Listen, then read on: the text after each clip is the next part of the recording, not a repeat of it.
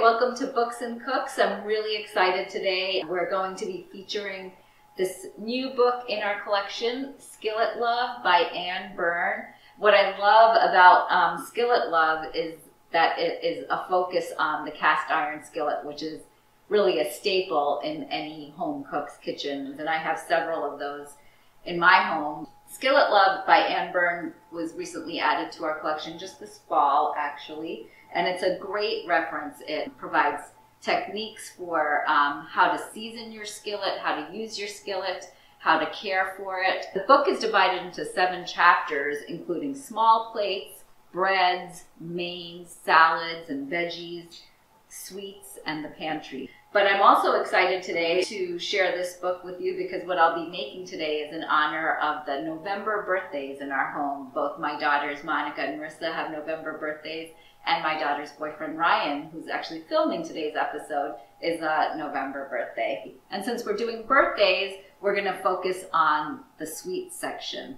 And if anyone has ever had dessert from a skillet, they've most likely encountered the skillet cookie. It's sort of the quintessential crowd pleaser. And um, that was my suggestion from my younger daughter, so that's what we're going to go with today. We're going to go with a chocolate chip skillet cookie. I've got my 12 inch cast iron skillet and I've got two sticks of butter melting right now on low heat. What's really great is you make everything directly in the skillet and then use the skillet and bake off the cookie in the in your oven. Once the butter is all melted, you're going to just go ahead and turn off the heat. And then you'll stir in both sugars. So I've got some white sugar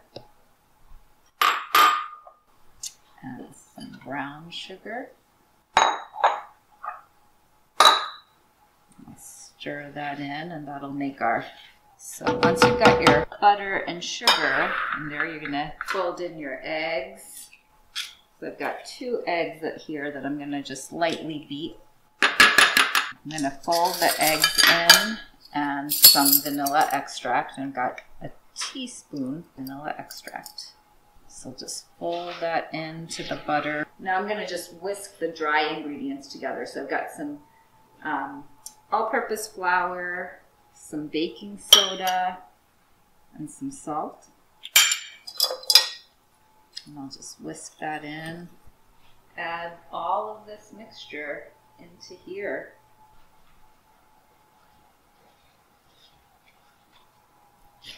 Once your flour is stirred in, it's time for the chocolate chips and chocolate chunks. You could, if you wanted to, also add um, walnuts at the top after you're you've done after you're done adding the chocolate. But we're keeping our cookie nut free today, so we're just going to add the chocolate chips and the chocolate chunks. The cookbook suggests just taking a clean paper towel, running that across the side of the skillet. So, okay, so that's done. We're just going to open the oven and the skillet goes in at 375 degrees for about 25 minutes and it'll come out and still be kind of medium rare. All right, here we go. Our cookie is done. Pull it out. It's nice and hot. The great thing about cast iron skillets is they really hold and retain heat. So I'm just going to set it down here let it cool off just a bit before we serve it. All right, everyone, What's my cheers. Happy birthday. Cheers to November birthdays and Skillet Love by Anne Byrn. Thank you and look forward to seeing you all at our next Books and Cooks, Book Talks and Tasting. How is it?